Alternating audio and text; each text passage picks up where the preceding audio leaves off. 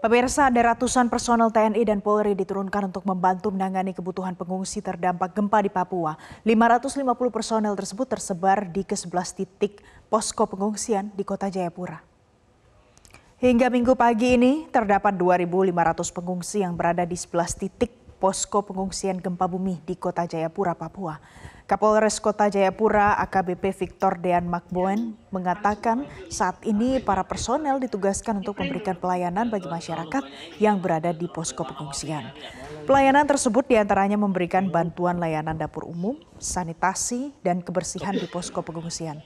Menurut Victor, kondisi warga Jayapura yang berada di posko pengungsian saat ini masih dilanda trauma usai gempa bumi bermagnitudo 5,4 mengguncang wilayah tersebut pada hari Kamis lalu. Itu kurang lebih ada 550 personil TNI Polri, di mana ada eh, lokasi-lokasi uh, pengungsian.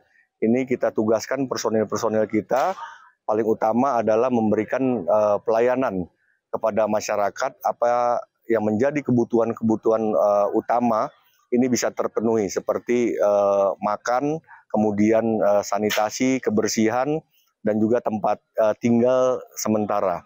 Memang kita lihat kondisi masyarakat ini juga masih uh, trauma ya. Pada saat siang hari mereka kembali ke rumah tetapi pada saat malam hari mereka kumpul di posko-posko